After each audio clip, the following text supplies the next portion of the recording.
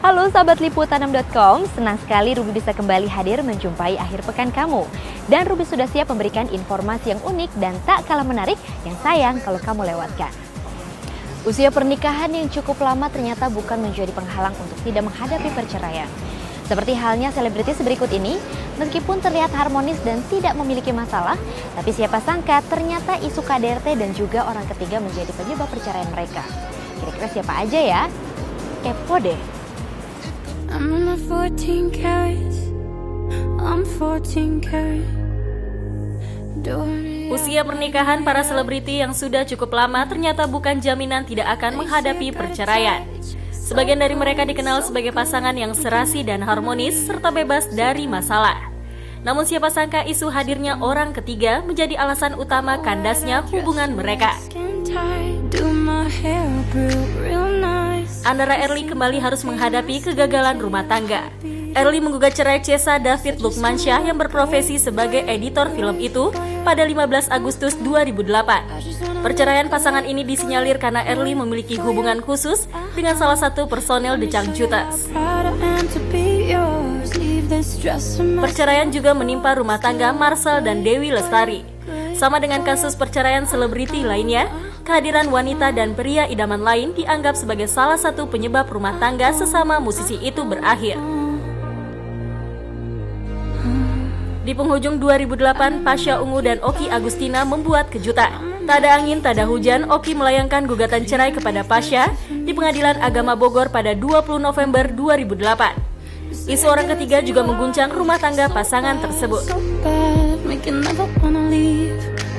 Perceraian Tora Sudiro dengan Anggraini Kadiman alias Anggi tidak kalah menarik. Gosip perselingkuhan sudah lama menggoyang bahtera rumah tangga mereka.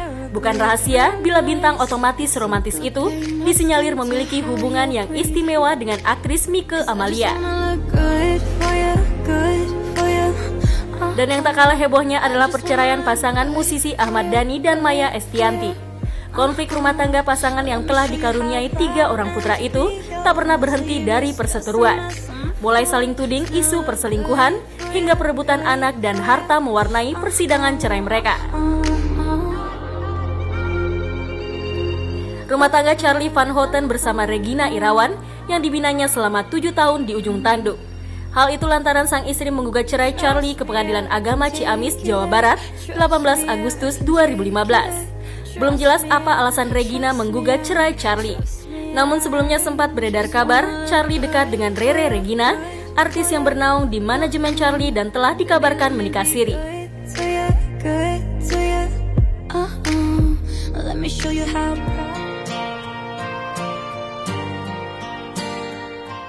Menjadi pelajaran hidup bagi Risti Tagor dalam mengenal laki-laki yang akan menjadi pendamping hidup setelah ia berprahara dengan Stuart Collin yang berubah kasar setelah menikah, terutama pada putra tunggalnya Arsen. Menurut sang pengacara Ina Rahman, Risti cukup menyesali keputusannya menikah dengan Stuart. Risti menggugat cerai Stuart pada 20 Agustus lalu Meski tengah hamil anak Stuart, Risti masih tetap pada keputusannya untuk berpisah. Hanya saja diakui Ina, Stuart masih sering mengirimkan pesan singkat pada Risti pasca gugatan cerai dilayangkan. Di antara begitu banyaknya pesan singkat aneh, Risti juga menerima rayuan Stuart yang salah satunya berbunyi SMS yang mengatakan Stu masih menyayangi Risti dan ingin kembali pada Risti. Meski begitu, Ina mengungkapkan Risti pun tak mau luluh, sebab Stuart hingga kini belum meminta maaf kepada Risti dan keluarga. Risti berharap Stuart datang dan meminta maaf, tapi bukan harus kembali.